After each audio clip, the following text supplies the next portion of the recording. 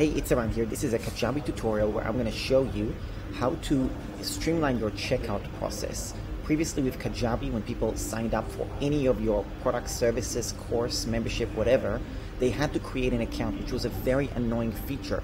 Finally, Kajabi actually fixed it, and I'm going to show you how to tweak your checkout pages or order forms or offers so then people don't have to create an account or log in when they actually buy your course, your membership, and so on. So what you want to do is you want to go to the offer section, then you want to go to the offers, and you want to click on Edit Checkout. When you are in Edit Checkout, you're going to need to customize the different details right here.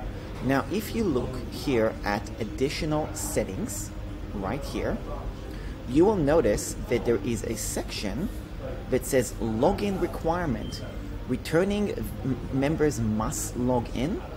And another one is this one which is, which is members um, returning members don't need to log in.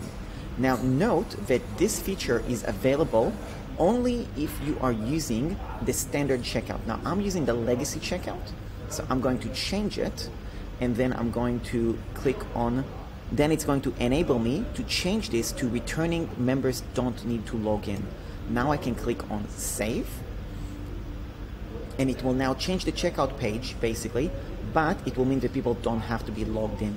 So basically you have to make sure that you're not using the legacy checkout and then you need to click returning members don't need to be logged in. Logged in.